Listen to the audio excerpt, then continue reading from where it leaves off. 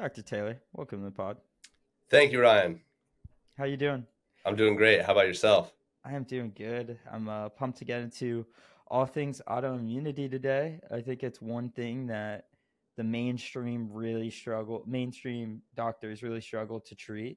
You know, we uh, we're really good at like the acute injuries and the acute issues, but when it comes to these chronic, long-term issues, this seems where modern medicine really struggles. And uh, just love the work that you've been putting out in, in that front. Thanks, I appreciate it. I, I, I completely agree. There's a you know just a wave of of autoimmunity, just kind of as a you know a, a diagnosis wave, um, but also I, I, would describe it as more of just like a mechanism more than a, a, a specific disease. You know, there's over a hundred known autoimmune names now, diseases, diagnoses, but it's more of a mechanism, and so that's kind of what I try to teach is uh, how that how those complex mechanisms all just intertwine. So thanks. So what do you mean by that when you say mechanism? Is that just well, just immune system is overactive? Exactly, and and attacking self tissue. So okay. the immune system is not supposed to attack self tissue; it's supposed to attack foreign tissue. And so when that attack is misdirected, that's basically the definition of of what autoimmune autoimmunity is. Um, and so there's also, you know, I, I have a I, all these things. I kind of sometimes even forget what I have out there, and I've learned all this from mentors. So I always try to give credit to whoever I've learned this from. But autoimmunity happens in three stages. The first is called silent autoimmunity, and there's antibodies present. So that's a sign that your body's attacking or has flagged some some part of your body, your immune system rather, has flagged some part of your body, but it's silent. There's no symptoms, there's no problems, there's no really issues yet Uh, but those are also called predictive antibodies too. And then stage two is you get symptoms, but maybe you don't have, let's say, like on an MRI, you don't have any lesions on your MRI, so you don't have MS.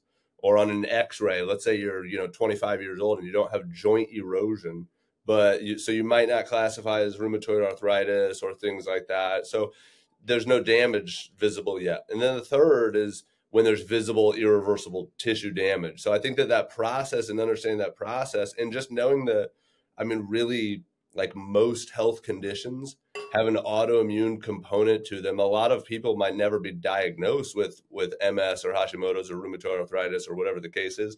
But if you learn how to just control that mechanism of autoimmunity, it's the root of most most ailments. I think this is a great segue to lab work because what it, it's the perfect way to kind of c- catch these things in its track. I mean, we're seeing this massive uptick in autoimmunity across the board.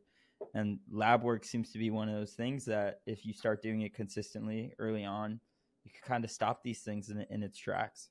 Absolutely. And I, I think that, you know, just a lot of even my work just in general it's not strictly based on budget but it's like what are you willing to dive into? Because you can the, the, the limit does not exist on how deep and how often you want to go on labs but also what's the best bang for the buck? So looking at just general blood work and having somebody you know whether it's a md or dc or I don't know, even some health coaches that just know how to interpret this lab. They're not diagnosing and they're not offering treatment, but they're just helping you interpret your labs and, and in functional ranges.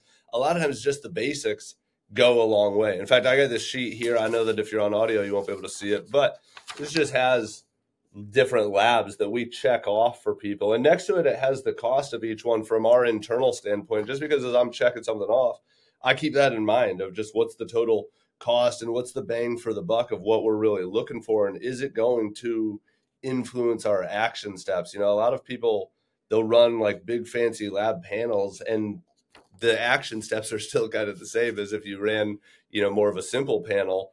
Um but also so all, you can go again limitless with that ryan and and then also like even i could see in my background this book is called food associated autoimmunities. It's a textbook and it's just like food sensitivities are a major driver of autoimmunity. It's not my favorite test. It's not the one that I always recommend for people, but food and food elimination is an important part of healing or or reversing or whatever the word is preventing the progression of autoimmunity or putting it into remission or kind of slowing down that process um, so anyway you could do food testing you could do gut testing now you said you've had some some issues that you've worked on and you said through some labs and protocols and things what testing have you had any experience with?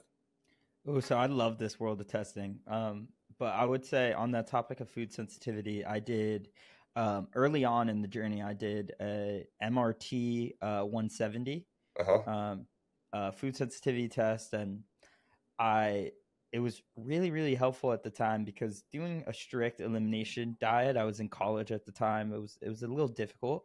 Sure. But to have that more targeted approach of knowing I mean, I know it's not perfect science, but having just a general direction of what some of the things are that could be causing uh, major inflammation for you yeah. Uh, was a really good guiding light, just like early on to start to heal the gut and to allow the body to not create this massive um, inflammation spike through the things I eat.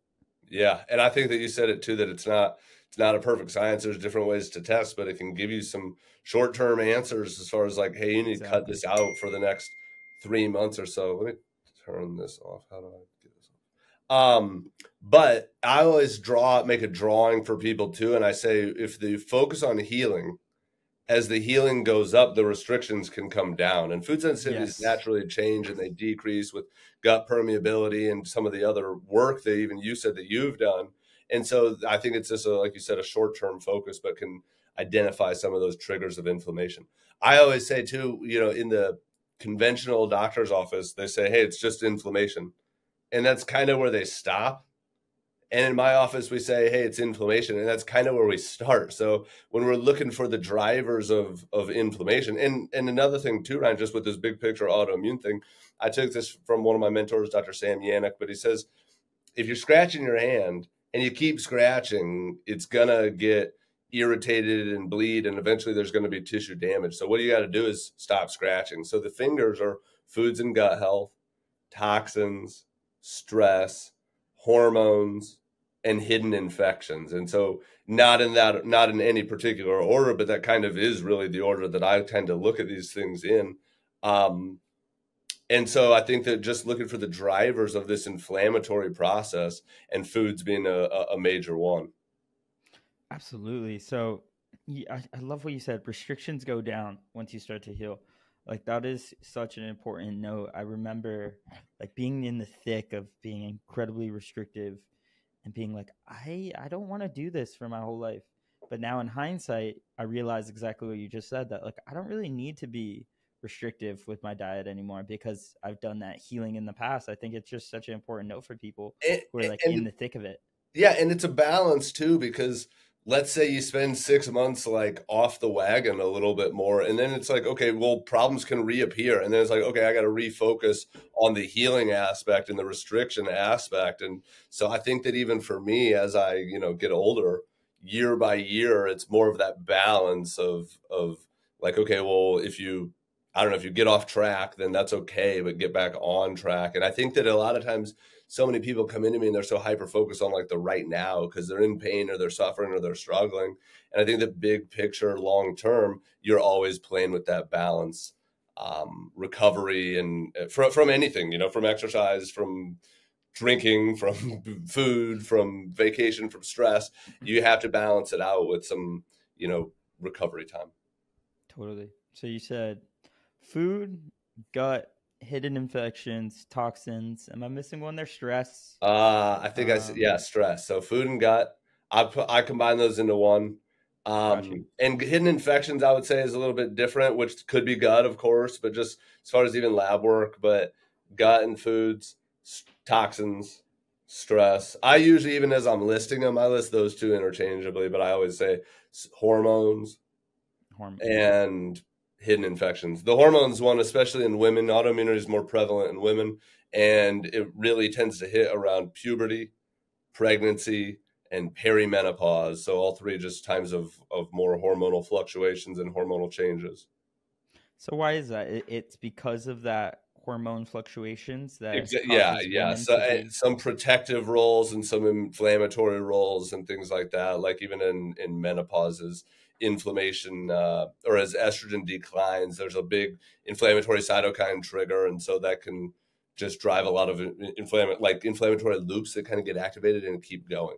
Same thing with pregnancy. Pregnancy is like the body's preparing the baby for the outside world and then as soon as the baby's out it's like we could take a break and there's different charts that i'll even show people as far as like your immune system goes through different polarizations in each trimester so i, I do a lot of visual stuff with people you know whether it's virtual or in person if it's virtual or either way i just flip my computer around but i've got a bunch of graphics from science literature and medical studies and stuff and they just really quickly can illustrate like hey these cytokines change in each trimester so some people might say, hey, my allergies were way worse in the second trimester, and we can show that in a picture. But it's a lot of this T cell polarization, which is, I think, important in the world of autoimmunity because T cells are kind of what do what do the damage um, in the autoimmune world. But the immune system goes through these certain fluctuations, and then a lot, just a lot of people, they might say like, after my first kid, I was tired. After my second kid, I was really tired after my third kid. I felt like I got hit by a bus and I couldn't get out of bed. Or I couldn't pick my baby up because I had rheumatoid arthritis or things like that. So it will it will progress through different pregnancies sometimes. But that's just one of the clues, even on paperwork, of maybe you have an autoimmune process occurring. Yeah, and you mentioned T cells there being a big part of this response, oh, yeah. and um, that's one of the reasons why I've been let's dive into it. But in particular with peptides, um, I've been yeah, I don't know as much about that. With... I've I've had a few questions about that recently, and I don't, you know, BPC one fifty seven, of course, being like the most famous peptide, but I don't, I don't know that much about different uh, T cell stimulating ones. I just started listening to this dude. I maybe listened to like maybe one or two podcasts, but he's kind of in the mold and Lyme world, and he's mm. just huge into peptides. I don't even remember his name, but um, it was super intriguing because it was all about T cells. So even may, you might be able to educate me on some some peptide stuff. Yeah, I don't know a ton. I know have I um I I have not done it yet. I I I've been interested in uh thymosin alpha 1 and um exactly. thymosin or uh thymosin beta one or thymosin another, beta four. Thymosin yeah, there's another thymo, thym, thymus one. Those are the ones that I've heard about, and, and yeah. I I would only recognize them when you said them, but uh, I don't even understand like the nomenclature and the naming, so I'm I just not very well versed on on peptides. There's a couple guys I follow that are just huge into it, but I think that the reviews that I've heard from people that have done it are have been mixed. I would say, and I've oh, I've seen one person who he blamed his autoimmunity on BPC 157. That's kind of what he thought was the trigger. I have no way of confirming that, but that's just what he he kind of suspected had caused him to flare in whatever capacity. Um, but that's the only bad thing I've ever heard. And then I've also just heard maybe like that when people stop, their results have kind of stopped. And and I don't remember if that's even with immune things or if that's with um, um, like SARMs or different testosterone, uh, different modulating things. Um, but I have have heard that as well. So I don't know. I just haven't dabbled in that. Another thing for me though too is I don't want to say, say that I'm like super cheap because I mean I'm I definitely drop some coin into my wellness, but I'm bang for the buck. So I'm more like food, diet, exercise, light, air quality. I'm huge into totally. air quality. So I'd rather drop like a couple grand on air purification stuff for my house than on on different things like that. Now I'm not opposed to it in hyperbaric, and, and I think that all those things have value, but also some of those things, even for me, you know, my old practice was in Salt Lake, and I did cryo, and I there was just access to that stuff. So now I'm in Peoria, Illinois, or Washington, Illinois, and it's more like small town. I mean, it's not there's 300,000 people, but it's not like hyperbaric. Except there's not that much hyperbaric. There's not that much.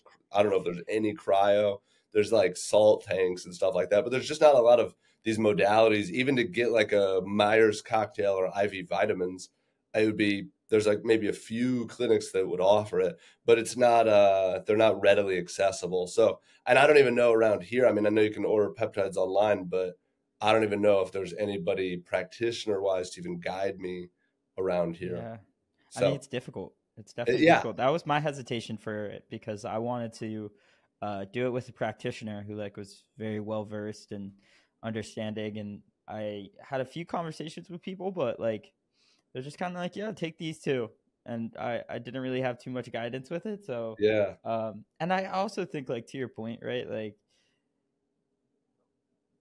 we step over dollars for pennies a lot in this world of health. Like Yes.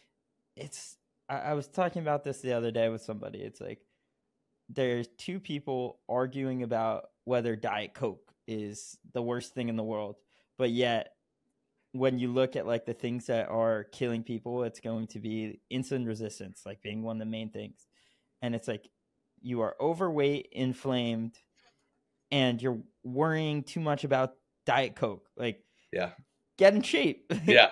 like yeah, there- and there's yeah, so much the of ba- this. focus on the basics, and that's what I feel about air quality as well. Just going back to that, but like I completely agree, and I think that as I've gotten older in this profession, you know, I think I I got to even look up at my diploma sometimes. Uh, I, I'm almost 12 years out of school, so I mean, not not I don't feel super old, but I definitely feel a lot older than I than I did then. But each year, you know, I feel like, and even having kids too, like just moderation to some degree. Now, there's a line somewhere, and you don't really want to flirt with that line, but to be all or nothing in a lot of these areas is just not that sustainable. But I feel like the the the basics of gut health, uh, stress, toxins. I mean, the five scratchers, basically. That's kind of why, too. You know, I spoke. I've spoken before at different uh, seminars about my practice, and I said that's why I picked the niche of autoimmunity because it's kind of like the anti-niche. It's like keep all these plates spinning and look into what somebody's priorities might be. So even based on questionnaires and things like that,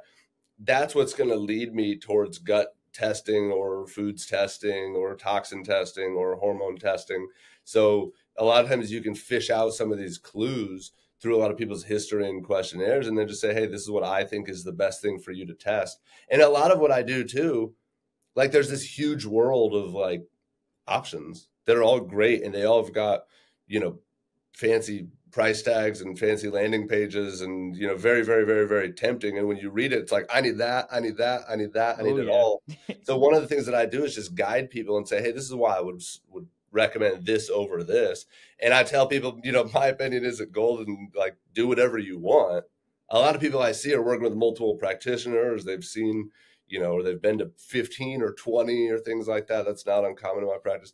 Um but anyway i just help guide people more so than give any diagnosis or treatment um because there's just so many options out there. There's so many options out there, and I mean, it is the beauty of the internet, though, right? Like, do you work um, uh, like telemedicine across Yeah. states? Yeah, yeah, it's not telemedicine because it's more just consulting. Um, but absolutely, I work virtually. I have international all all across the the country mostly, but I also have international clients and stuff. I mean, it's so it's like the beauty of the internet, though, right? Like in not too long ago, you were you were almost forced to go to that doctor in your town, Yeah, and yeah, a lot of times th- those guys aren't the the best ones for you. And like the internet opens up this world where you can consult uh, with people all over. exactly. I just had somebody tell me that from Dubai, and she was like, "That was the beauty of COVID, is that now I can meet with somebody like you." Talking to me and say, "Hey, this, now now I'm able to find you and connect with you." It's like, yeah, that's super cool. Yeah. So, and I always tell people too. I tell my international clients, I'm like, hey, I just think it's cool that we're able to connect. Like, I'm still humbled by it, and like, it's just like this is cool that you found me and and we're working together. But uh, I have that happen, you, you know, pretty often. So it's cool. So do you do like if someone gets labs done and they're like, how do I read this? Uh, like, do you, do you do that with people where Yeah, people a come lot. to you to interpret? Yeah, a lot of people that come to me have like, you know, folder of of labs that they've done. Um and and you know, some come to me with with nothing. They've done nothing and they're kind of starting from scratch, but uh, a lot of people come to me with like a box full of supplements and a folder full of labs and they've worked with a couple practitioners maybe they've hit some roadblocks or maybe they uh, I don't know, just want to change a pace, or sometimes sometimes a, a second opinion. You know, they're working with their their chiropractors, ordered them three labs, and they're just kind of hit the end of their road and said, "What should we do next?" Um, but yeah, that's pretty common. So let's dive into the food stuff. So, like for someone who um, suspects that they have some heavy food sensitivities, uh, what do you think that person should do? Um, first get a practitioner i would say because i think that they could just save them a lot of time because exactly a lot of times even if people are reacting to foods that doesn't mean that a food sensitivity test is even their best option or their best bet i think that if there's one test to do it's stool testing and just seeing like the, the health of the gut like we said about just focus on the healing but like I a think GI that- effects is that the one? that's a great one. Yeah, I do a GI map. Uh, there's also gut zoomers. Um, I also do an organic acids, which is a urine test, but it looks into some gut gut metabolites. That's one of my, one of my favorite, probably my favorite lab. Mm. Organic acids is Yeah, yeah. Uh, there's 76. Like I did use the one from Mosaic or Great Plains. It used to be Great Plains. Um, there's 76 different markers on there. Looks at yeast and mold overgrowth in the gut, some bacterial imbalances in the gut with our urine metabolites. So it's not a direct stool test, um, but shows these metabolites that can really, really, really jack up neurotransmitters and brain health. Um, so it looks at some just really intriguing things in the gut. So I, my favorite two tests is a stool test and the O test together. Um, it's a little more sensitive for yeast than than most stool tests. So it looks for yeast metabolites in kind of a different way, yeast and mold. then it also looks at mitochondrial markers. And I always tell people too, it's like if you've had blood labs and it's like everything looks good, uh, then this is kind of the next layer deeper into more some more cellular mechanics. So it looks at oxalates, looks at mitochondrial markers, looks at neurotransmitter imbalances, looks at detoxability, B vitamin markers. So just some really cool things. So I think combining that with a stool test is, my favorite too, like baseline test. A lot of people come to me with with both of those two labs already done. I'd say it's one of the more common tests that people come to me with too. Um, but yeah, so I think that going back to the foods, I think that there's so first off, it depends on what the food sensitivities are. So my answer is probably pretty complex just because I would be asking them a lot about the foods that they react to. So a lot of times I'll draw, like if we're on Zoom, I'll draw on a whiteboard and say, uh, tell me how you'd feel with each of these foods bread and pasta, uh, fried foods, ice cream, um, in uh, you know, I might li- tomatoes, spicy food, salsa. I might list out just a few foods, and I with each one, I'm just kind of looking for clues. Or a big raw salad. Let's say I, those are like the six, maybe. And so with each one, I'm looking for clues. If they're like, "Oh, big raw salad," I'm immediately bloated. Then I'm probably not looking on a food sensitivity test. I'm probably looking more into FODMAPs or just sending in some Mhm. resources on FODMAPs and saying, "Hey, my suspicion is that we're going to find overgrowth on your labs, but let's see what what we find." So I always say too in the gut, sometimes we need to pull weeds in the gut. Sometimes you need to plant seeds in the gut with probiotics. And more often than not, people are planting seeds when they should be pulling weeds, I would say, when you look at their, their lab work. Um, the fried foods might be leading me more towards like gallbladder and and maybe some just parts of the digestive process if they have an inability to digest fats, they get floating stools, they get have any skin issues, hormonal issues. Um, the gluten one makes me think of just gluten, which is super common, but a lot of people too say, like after a while with the healing part, they say like I can have a little bit of gluten now and I feel fine. But if I have it a few meals a day, like, oh my gosh, I'll never do that again. Or at some point there's a tolerance level, but their tolerance for it has improved. Um the ice cream is a common one. So it's then it's like, is it dairy? Is it dairy plus sugar? A lot of people aren't reactive, like from a symptom standpoint, to like a little cheese on their salad. But if they eat a tub of ice cream, they're gonna like crap their pants. Um, so just asking them through each one of those symptoms. I've had, uh, you know, I've had that that story before. It was one of my favorite stories. Is somebody said, you know, I won't make your podcast explicit, but they said can't have ice cream, and I was like, oh yeah, why not? She's like, crap myself. Uh, but she said it in a different way, you know. Uh, it Yeah. was like, okay, well that that's a good a good sign, and I've heard that from many people. But just asking them through their different food sensitivities. Some of the ones that are a little harder to find are uh, oxalates. So oxalates we could find on labs that can be on an O test, um, which come from really, really, really healthy foods. And so that's an interesting thing that we could talk about. Or histamine is just like I would say in the last five, four years, you know, like COVID era, basically. Uh, histamine is just massively, massively rising to the surface of maybe just recognition, but also I think of prevalence because of different COVID related issues. Um, so yeah, even a lot of like long COVID is like you know in the long COVID forums and things you'll find a lot of histamine and low histamine diets and like newfound histamine reactions. Um, so I think that that's an important thing to look at. But a, a lot of those again, you're not going to find on a food sensitivity test. You might on an MRT. I don't do MRT testing, but I think that you might just because it's looking for that immune response. Um, but I think that asking people through and just talking through is my my most important step. What was the uh, food sensitivity test you use? I use Cyrex. Yeah. Is yeah. there any reason for that? I feel like I'm hearing more and more people.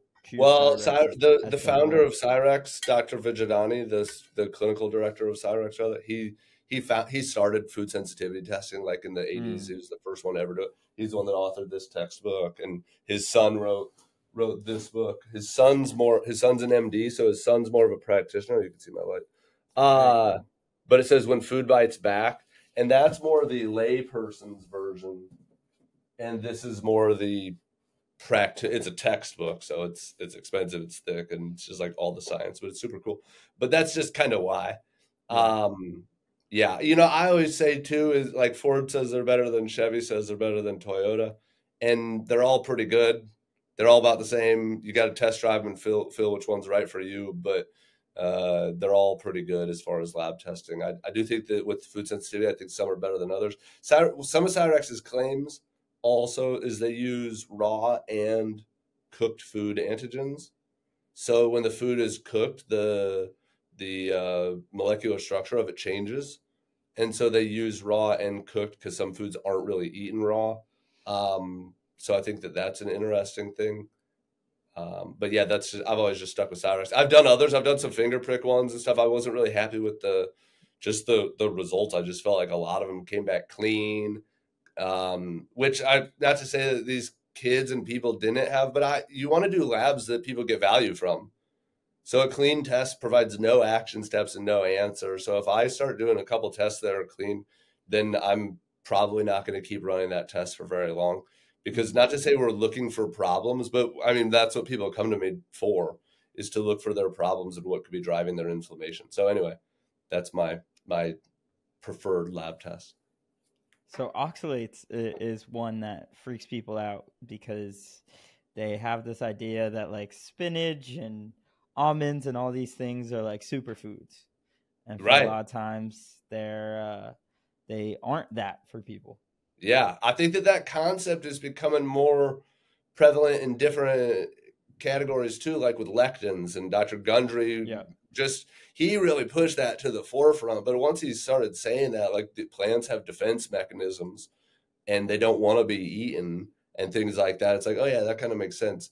And I feel like also, you know, carnivore's just been very, very popular, but I feel like a lot of people they got issues with histamines, they got issues with FODMAPs. They got issues with lectins. They got issues with oxalates. And then all those are just from the plant kingdom. So I think that that's where the value has been for a lot of people in carnivore. Now, I'm just still kind of like a moderate of like not all plants, not all animals, but but a little bit of both. Um, but I do think that either one go in either direction for a period of time can just shift the microbiome too. So I think that's that's part of the focus of whatever your dietary strategy is is like you don't want to be on that forever and and you might always have some limitations on your diet but uh, as you focus on that healing it's more like what's going to shift my microbiome in the direction that i want it to um, so if it might be avoiding FODMAPs for a period of time or avoiding sugar for an antifungal diet that's another just huge huge huge one that not only helps from a metabolic standpoint far as carbs and fat and things like that but helps star or uh, yeah starve off candida or yeast. Yeast has a receptor on its membrane that when it's it's a sugar receptor, and it turns it from the like dormant form into the hyphal form, which is like planting roots. And so its roots can extend up to three feet in the body, which is insane.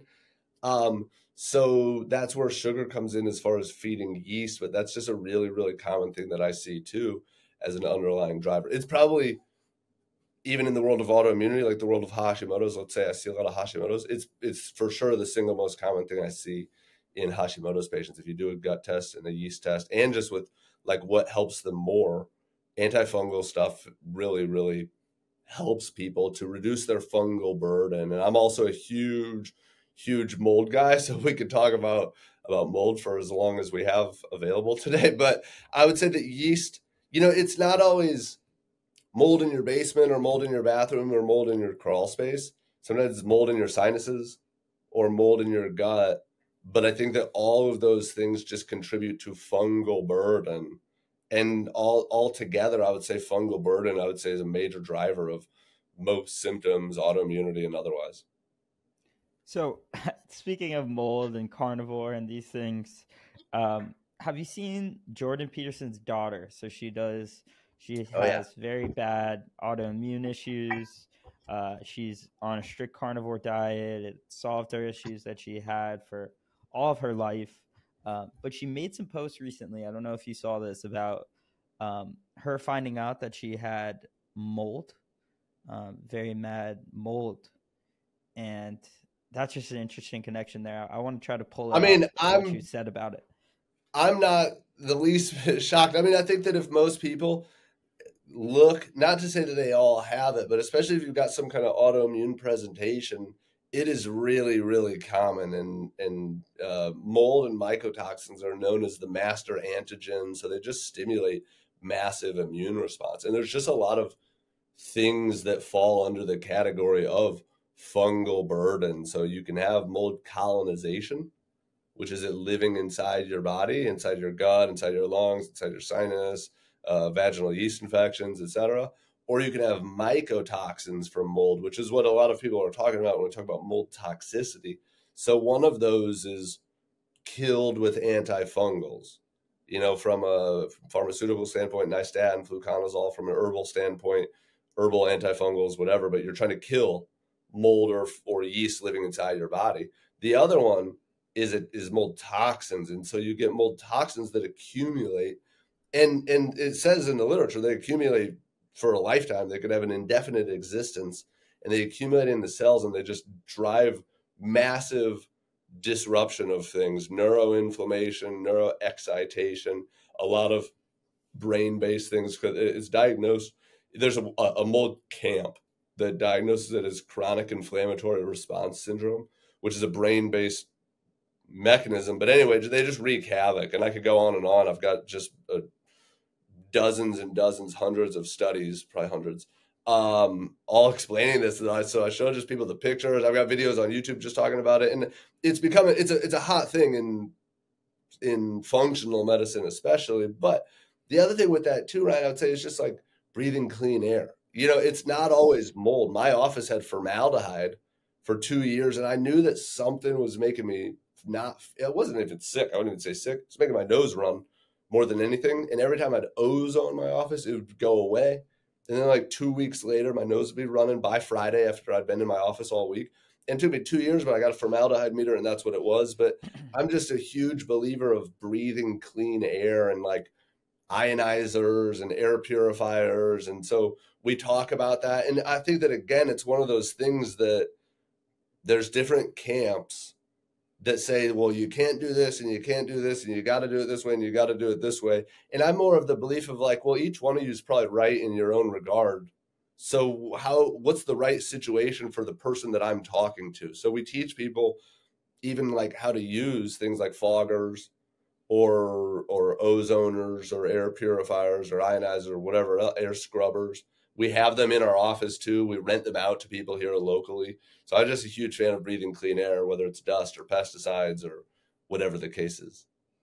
So how do you when um how do you one diagnose somebody with mold? Like what type of test do you like? Is that like a total I think it's like total burden or total tox or something can, like that is the good one? You well, I don't know. There is a there's a couple total tox ones that usually look at a lot of chemicals and, and things. There might be a one comprehensive toxin panel, but it's usually your urine mycotoxins is what I use, or an OAT test, or antibodies. I don't do the mycotoxin antibodies. Some people do, um, but I do urine mycotoxins, and I'd say that's what mm-hmm. most people in the profession use is urine mycotoxins. Now, there's like a lot of other tests. There's a lot of controversy about it, of like some food based mycotoxins. But generally, what we see is that people that are excreting more mycotoxins, they have more. And one of the guys that I like, and you should seriously check this out. I mean, I would recommend it for anybody. Um, it's a YouTube video. It's from a seminar that I was at. It's for doctors, but it's on the company that, of the guy that they're interviewing. He's an ENT surgeon. They put it on their YouTube channel. Um, so their YouTube channel is called Microbalance, Microbalance Health Products, I think, Microbalance. Um, and anyway, he talks about he's an ENT surgeon. And he says if somebody's excreting like two mycotoxins on their urine test, they might have 11 of them in their pituitary. He said it's a toxic soup up there. It's not like it's just one or the other. Sometimes what we're excreting isn't a direct reflection of everything that's in there. But airborne toxins, especially, have a direct access up the olfactory nerve right to the brain, and then they can store in those areas. And then for a lot of people, it's let's say it's the let's say that I would say it's deep midline areas of the brain. So let's say it's the amygdala. Well, that's going to be anxiety and panic. That's the fear sensing area. And let's say it's the pituitary. Well, then that's going to be hormone fluctuations or frequent urination. You know, one time I had this kid, I just mentioned this on another podcast. Um, I had this kid who was drinking 500 ounces of water a day. I was like, that's mold. And they tested their house and there was mold all over. Um, so that's pituitary. For some people, it's going to be more, I don't know, basal ganglion. They're going to have more OCD, tics, different things. But it's all this inflammatory processes in these deep midline areas of the brain from airborne toxins. And to his point, we can't really measure what all's up there. But if we're excreting some mycotoxins, it's a sign that we've got at least some in our body. And then going and looking through testing or looking through where's the exposure. You know, I've had people with, I had somebody this summer with MS test her work and quit her job after finding massively high levels of mycotoxins at her work. Um, and so just different things like that. But uh, I do use a urine mycotoxin test. But I like to layer the testing too, because again, what you want to confirm or or have some strong suspicions for is do they have colonization or do they have mycotoxins? And then you go and look for sourcing or is it from your old house that you lived in five years ago? Is it currently? And so not jumping to dropping 10k on like testing your whole house but just talking through a lot of these things is how we kind of figure out appropriate next steps and saying okay well where do we think it could be coming from now versus past and then looking into other exposures too uh, you know i've had somebody recently who they th- his wife has sinus issues so mold was on our radar for that and so we were looking and they did some mold plates which is like the most inexpensive way to test but their mold plates looked really nasty so they sent it off to a lab, and then they had a mold testing person come and, and test, and they got it remediated and blah blah blah. But the husband, he reacts more. We're finding now to chemicals. He's been around pesticides and had these reactions, these autoimmune reactions. He has Hashimoto's. He, he was diagnosed with Graves, but it was, I think, a misdiagnosis, and he really has Hashimoto's. But anyway, he reacts around chemicals. So he's like, I get it around in a new car. I get it around a chlorinated pool. I get it around was there's another one recently was just like airborne toxins cause him to flare and react. So anyway, I think that just breathing clean air. I forgot even what the question was now, right? I'm just rambled about mold stuff, but I love breathing it. clean air is one of the drivers. I would say, and I would say too, just tying back to our whole conversation, foods are the obvious one. So that's where a lot of people reach where I said, like, you know, the healing has to reach a certain level before the restrictions come down. Mold drives food sensitivities. So it can drive increased permeability and increased food sensitivities. And so it can drive other reactivities. So I think that foods is an easy thing to check off as a first thing, but it's not often the only thing. And so I often see people after they've kind of gone through that that you know freshman year of of autoimmunity and they're moving on to some of the the higher level stuff i love that you brought the conversation to mental health because it's one it's such a loaded topic but it's crazy people have this perception of their mental health issues as uh, genetic or a imbalance in their neurotransmitters or something that they can do nothing about or that the only solution is an SSRI or whatever it may be. and bringing the conversation more towards this holistic functional medicine type of approach is uh, it's fascinating. It's a fascinating it, world. It absolutely is because I think that even the more you look into it, it's like how you can't you can't possibly address it without it. I'm looking to see. I don't have it because I've told you I'm, I'm on my new computer. I'm trying to switch over desktop stuff, but I've got a paper on my computer that just says mold inhalation causes innate immune system activation and mood and behavioral brain imbalances. And you know, when you look at just some of the the, the studies that I show people, uh, I, I you can illustrate that pretty quickly that there's a direct connection. I just did an interview on my podcast that's not even out yet with this guy who's a pediatrician, and the topic was mold, mycotoxins, and mental health in kids.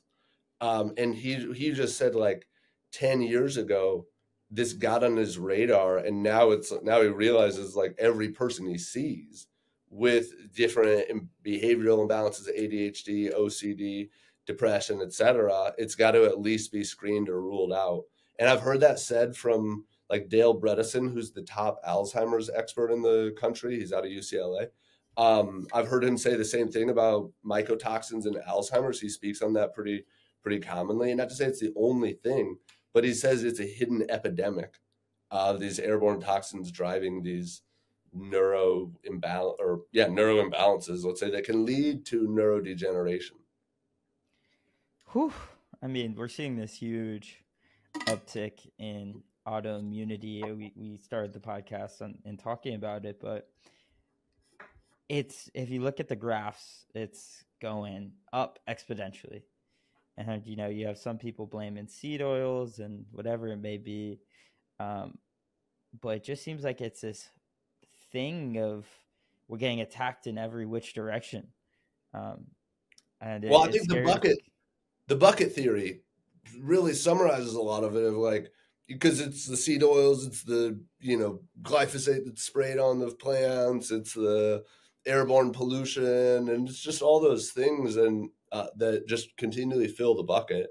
And not to say that any one of those is like the, you know, going to blame anyone for causation, you're never going to be able to put a finger on it, but it's this cumulative effect that these are just all stressors on the body. And so as you just put more and more stress on the body, then sometimes there's one straw that breaks the camel's back, but there's no real needle in the haystack. It's just all those things together.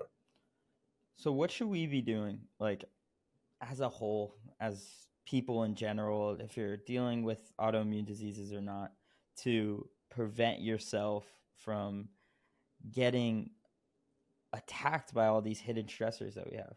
Yeah, that's a good question. Uh, and first off, you know, again, I hate to say that I have a, a, all the right answers, but I just think in general, it, that word stress of like, how can you decrease the stress response or chronic stress response? And that doesn't mean like, you know, go go live in Bali as a Buddhist monk or something on the beach, which probably wouldn't be too bad. But it just means like, how can you decrease all the external stress or internal stress in your body? There's mental and emotional stress. So just as far as like, I mean, there's a million ways to to work on that as far as prayer, meditation, a faith-based practice, exercise. And I'm saying outside of supplements because I think that supplements become after some of these foundational things but I think it's uh, stress from a mental and emotional standpoint. And I'm happy to dive into any of those things further. Even we in our office do neurofeedback. There's different things like I've got a thing over here I can show you that's cool. It's uh it's audio visual entrainment. It's uh, headphones and glasses, flashing lights that entrains your brain to certain wavelengths. So I'm super into all those gadgets and things for the brain. But even in HeartMath there's just another easier one. Um, more accessible and less expensive and things like that. But I, I again, I don't want to step over pennies for dollars or whatever it is. Maybe I said it backwards, but uh, I think that some of those basics, but for mental health, then I think physical health, you know, exercise. I, you know, right now I'm sitting, but I just got a standing desk because I don't like sitting too much and you know just not being sedentary, not overtraining. Also, I see you go both directions. Um, but exercise is just a great way of just minimizing stress and keeping healthy in, in every single regard. Um, and I'll tell you too my four most important like lifestyle things in a second, but then also toxic stress of well, what do you need to focus on? And I'm also a fan of like micro cycles, macro cycles of spend three months focusing on your gut and that might be like a better diet and things like that. And then you might spend three months fo- focusing on your your physical aspect, and that doesn't mean that you're not working out for the three months of gut focus, but it might not be your focus. And just if you look at like you know the life wheel or things like that that people draw, it's like just shifting those focuses for micro cycles and macro cycles, depending on what your goal is. So if your goal is stress or mental health, spend a month doing that or whatever whatever period of time it is. But so those three things: mental and emotional health, physical physical stress, and toxic stress. So that might be detoxing or doing lab testing or saying, now I'm going to go look at a mold. I'm going to spend three months focusing on this or whatever the case is.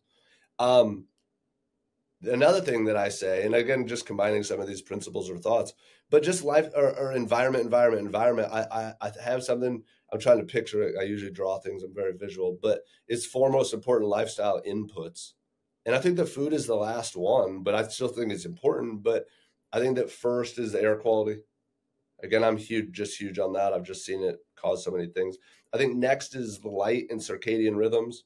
I'm big on that, big on the early morning sunlight, big on usually I have blue blackened glasses, infrared sauna, you know, all those things and gadgets and stuff like that. I've got a I've got an infrared light or a red light sitting right over there too. So we got all this stuff oh. like literally like right at my fingertips. I got a TENS device sitting over here for vagus nerve stimulation. It's just like oh, I'm jealous. My office just needs jealous. cleaned up more than anything, um, and it's sitting on my Austin air purifier. So we got just stuff all over the place. Um, but air quality, light quality, then exercise, then diet. In my opinion, I think you can out exercise a bad diet in many regards. You know, my grandpa who's 96 or something, he he his his diet has not been perfect. It's still not, but he's always exercised and moved. And uh, I do think you can out exercise some things diet wise.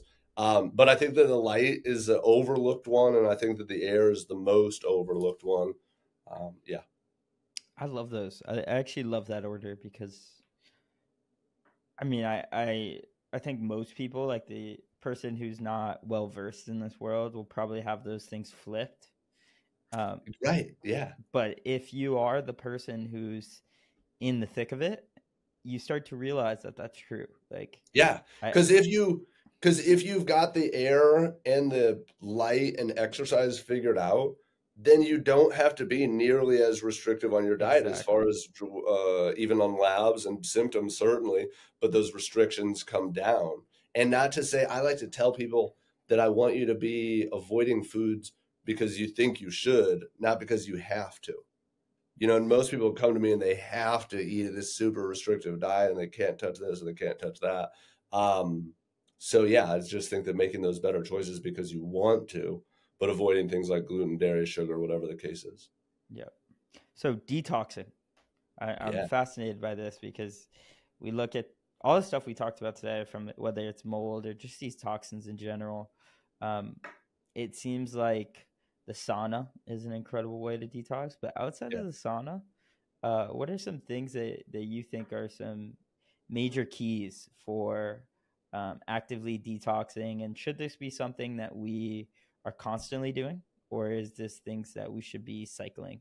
Uh, I think a little bit of both. You know, I think that you're never you're never not detoxing, but maybe like I said, micro macro cycles, maybe a little more aggressive focus on it for a period of time. And I'm a fan of like if you're going to go at it, go hard at it and stack the scale in your favor. So maybe for, you know, 60 to 90 days, taking binders, glutathione. Binders and glutathione are probably the top two supplements for detox. And binders, um, you're meaning like charcoal? Yeah, charcoal, humic and fulvic acids are very popular and trendy. And, so that and would be like also. Shilajit? Shilajit, yeah, I don't know nearly as much about Shilajit, but yeah, it is a binder. But also humic and fulvics, like uh, I think they're, I mean they're usually just called humic and fulvic acid, but like cell ah, core, okay. CellCore uh, binders are very famous for parasites, mold, um, heavy metals, and I like doing blends too, Ryan. So like, and I also like I might have people cycle their binders because different binders have different affinities for different toxins. So I might have people take a blend that has charcoal, shilajit, zeolite, bentonite clay, and and those might just be you know take two a day or take four a day or whatever and then when that bottle's done let's switch to a different one just to bind other toxins in a different way but doing to- doing binders. Now, I think there are some concerns with with long term binders.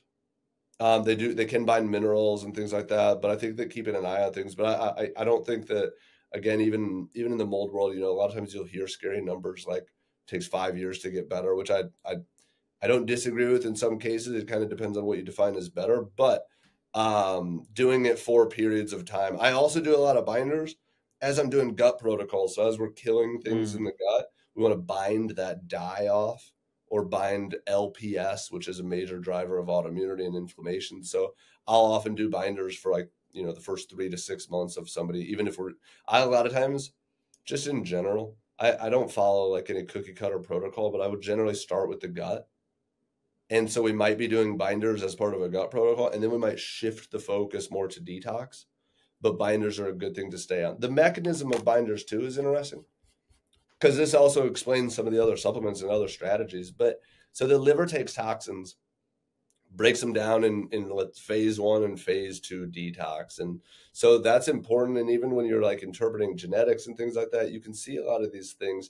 But a lot of people I see, they're they're like life is a wreck, but their genetics are like pretty good, or or vice versa. So genetics, I think, is another flash in the pan thing that you could easily spend like several grand on genetic interpretation, or you could do like a 23andMe and or whatever you want to use, or and run it through some software for 40 bucks or something and get a really detailed report of your methylation and other things. But anyway, phase one. software phase, uh, softwares what? that you recommend for that?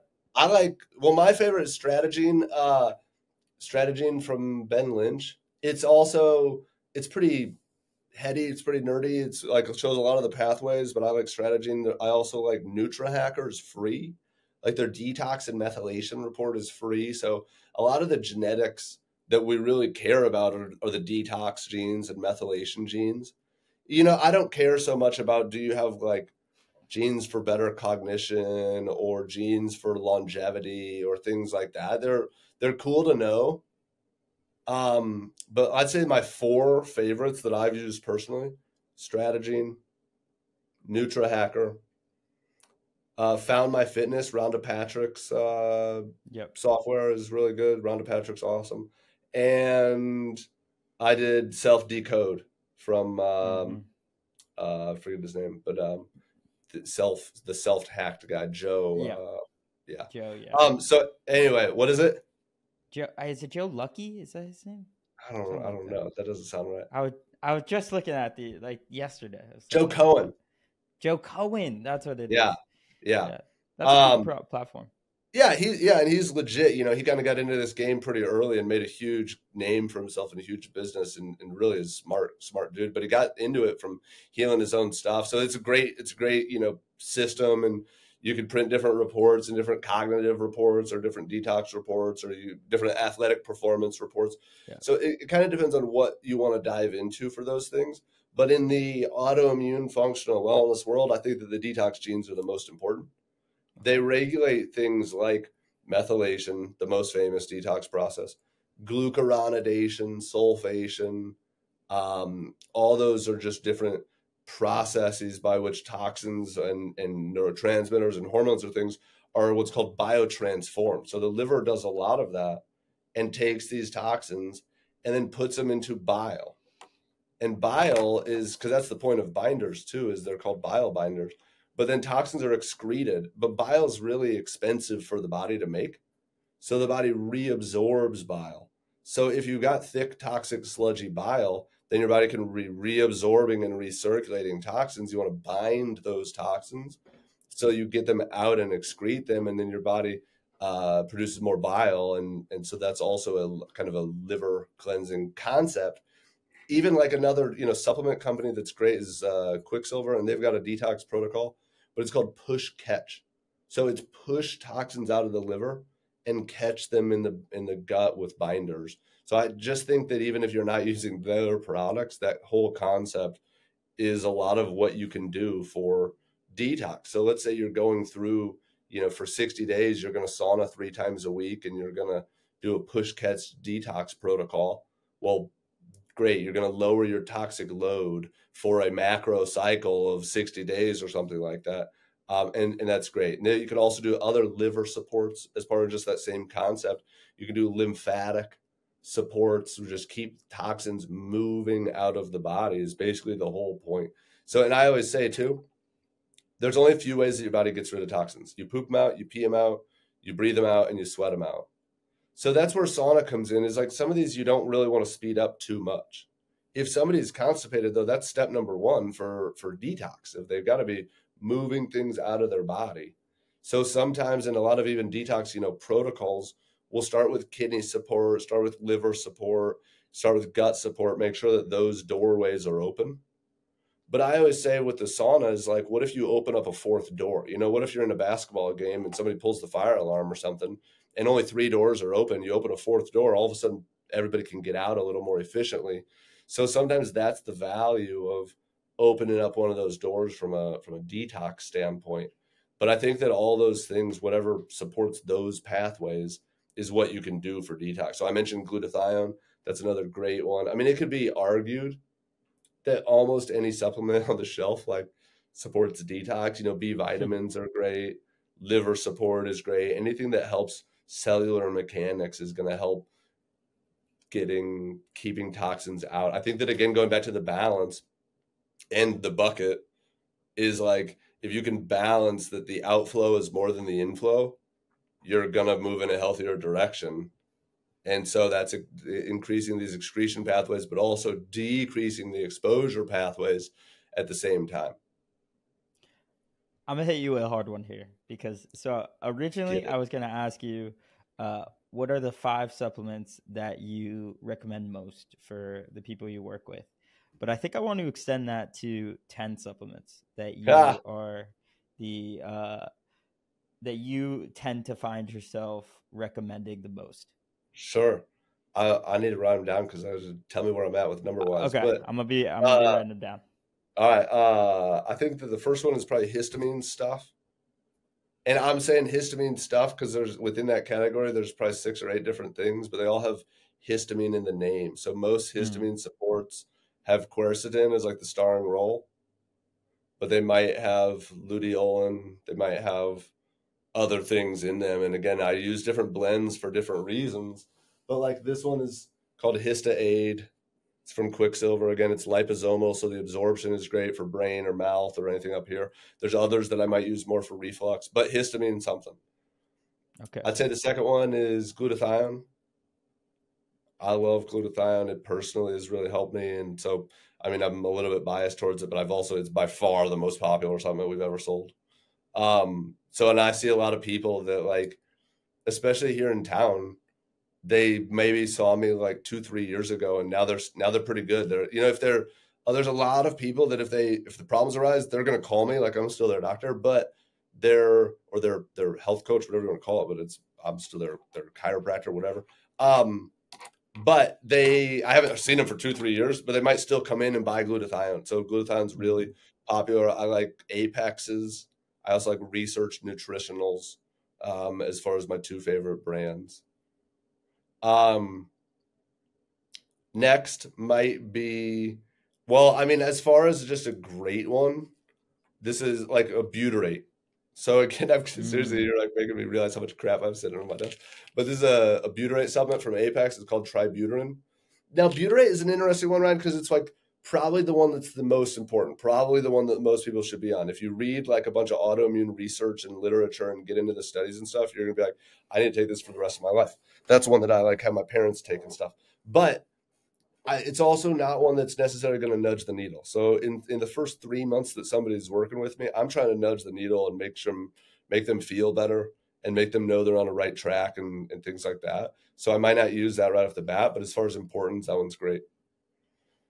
The next three, well, I guess it's got to be two because that's one of them is butyrate. But the next two, I often use this gut protocol or this gut combo, I should say, of glutamine powder, which I'll tell you some brands, but every brand has a good glutamine powder. Most brands do. Um, but a glutamine powder, a bovine immunoglobulins, and I'll use a butyrate. So this combo, I'll use Ortho Dig- Ortho Molecular Research. That's the brand. I'll use their product called GlutaShield, and it's vanilla flavored. So that matters in a second. And then I'll use SBI Protect from the same company, which stands for Serum Bovine Immunoglobulins. So it's SBI Protect. It's unflavored, it's but it's another powder. And then I'll use this uh, liquid butyrate from Pure Encapsulations called SunButyrate, and it's vanilla blueberry flavored. So if somebody mixes all like two powders and a liquid into a smoothie and they do that every day, it's a killer gut protocol. So sometimes they might add in a powder probiotic or something like that, depending on what they need. But if I can get them on the habit of of that, that's that's a great habit. Now the next one, while I'm just even rolling, I'll come back to. No, I think that's everything. I, uh, also with glutamines, I also use Pure Encapsulations, Epi Integrity, and I also use Apex's Repairvite GT Plus. Sometimes and I'll, I'll, be I'm always honest with people about why I make the recommendations I make. Repairvite GT Plus is probably the most high dose of things for like inf- like a straight up inflamed gut like IBD, but it also has 60 servings. So sometimes if I want people to take it twice a day, I'm giving them Repairvite GT Plus mm-hmm. instead of one of the others, just because of the number of servings in there. Um, uh, then the next one I would say, even while we stick on powders, is called Clearvite. Clearvite is from Apex also. I do a lot of Apex stuff because my mentor is Dr. Kharrazian. So Datis Kharrazian's a big name in autoimmunity, a big name in neuro stuff. He's on staff now at Harvard. Um, and so publishes research on autoimmunity, on neuro stuff, but especially autoimmunity. That's his specialty. Um, but anyway, he formulates all Apex's nice products. So a lot of these are Apex products, or even my other mentor in the autoimmune world is named Sam Yanuck, and he helps formulate products for pure encapsulations. So I use both of a lot of those because I've learned from both of those uh, leaders. But anyway, Clearvite, I use the there's like six different Clearvites. I use one called Clearvite GL. It's the only one that I carry in my office and store, but it's the GL stands for grainless. Grainless.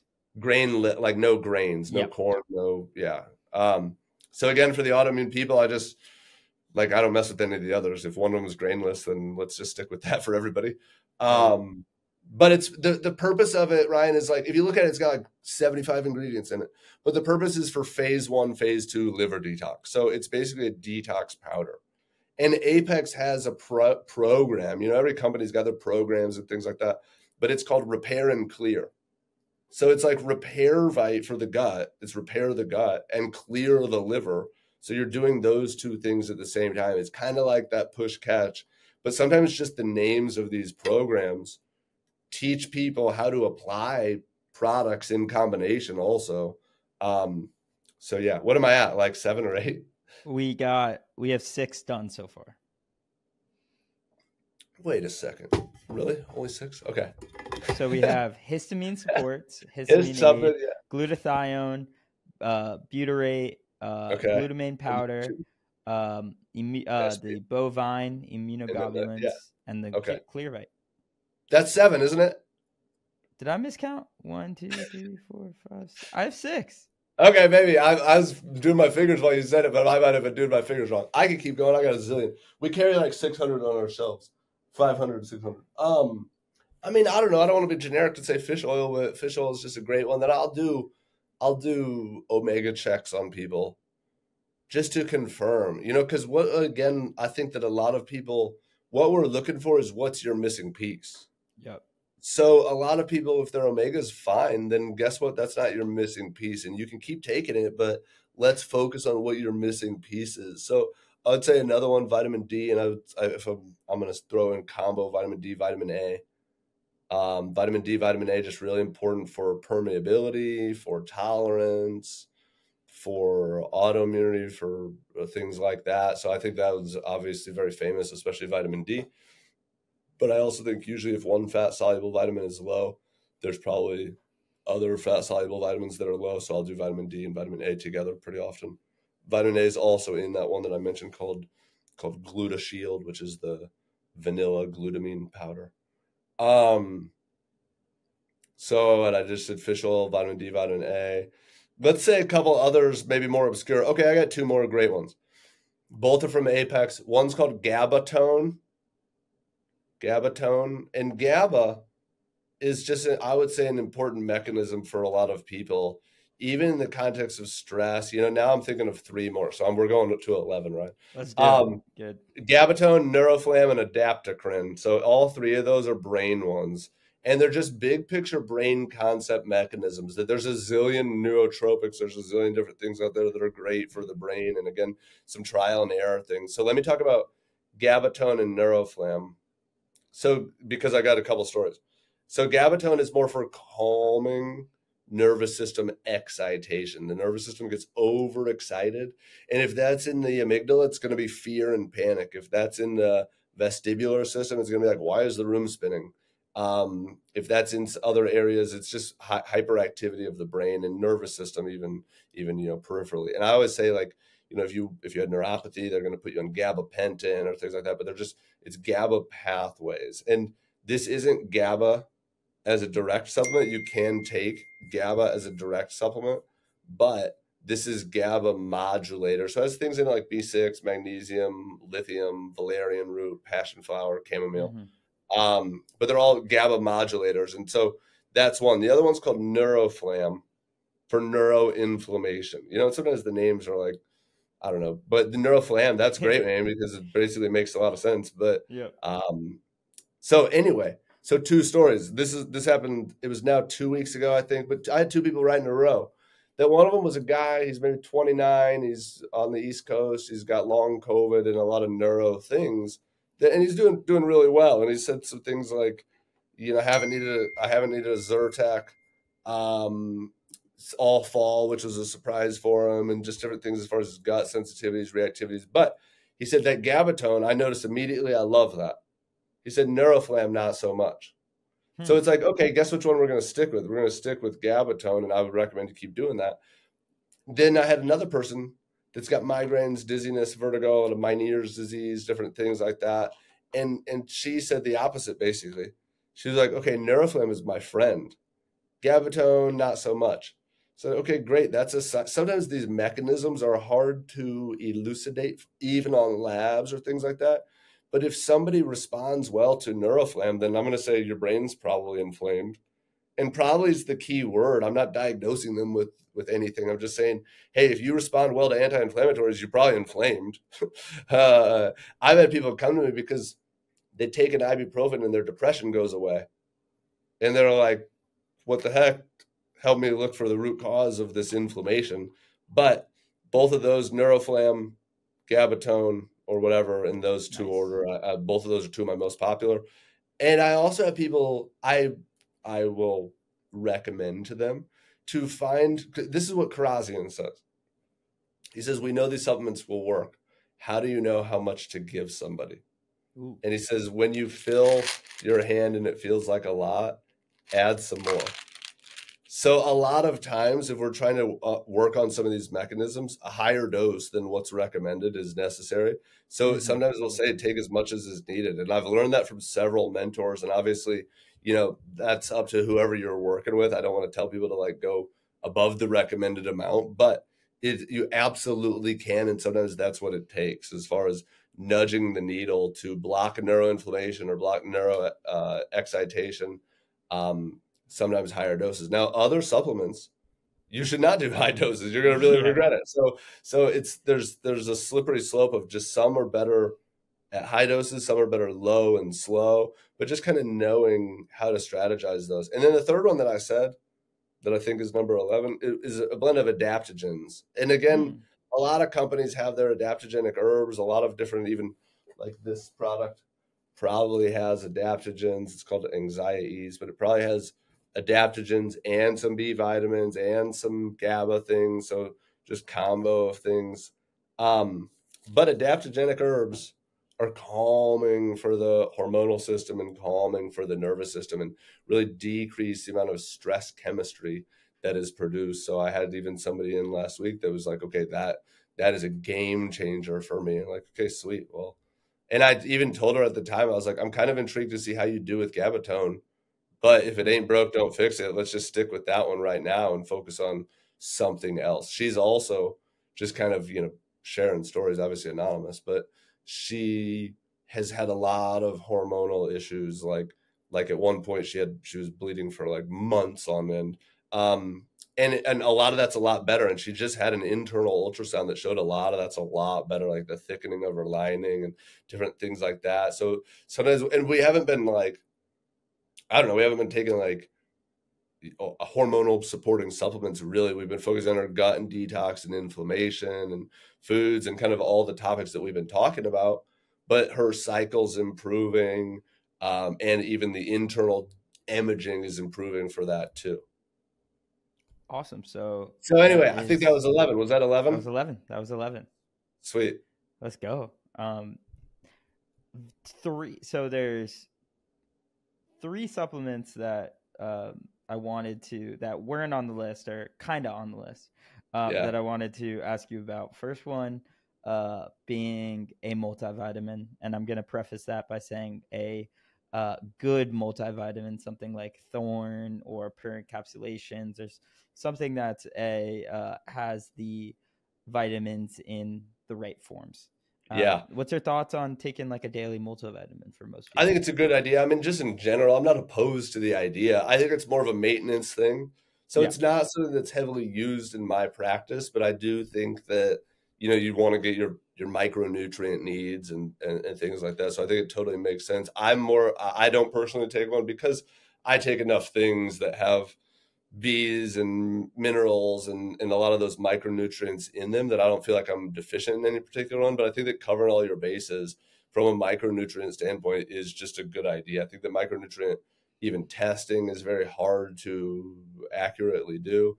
Mm-hmm. Um, but I do think that that's just a good idea. A lot of people, you know, the most common things I would say are multi, fish oil, and maybe probiotic. Yeah, um, magnesium. Yeah, yeah, yeah. Magnesium is super common also.